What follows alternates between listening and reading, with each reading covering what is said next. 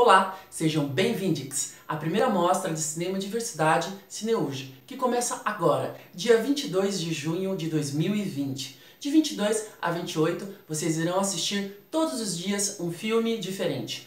Hoje, às 19 horas, baile de formatura de Luffy Steff. Amanhã, dia 23, às 19 horas, também Lolo, de Leandro Godinho e Paulo Menezes. Dia 24, Em Memória e Afeto, de João Miguel Santana. Dia 25, Sailor, de Vitor Siríaco. Dia 26, A Cama do Tesão, de Luffy Steff. Dia 27, Eque de Viton, de Dácio Pinheiro. E dia 28, para finalizar o ciclo, Meu Amigo Cláudia, de Dácio Pinheiro. Sejam bem-vindos novamente e aproveitem a nossa programação.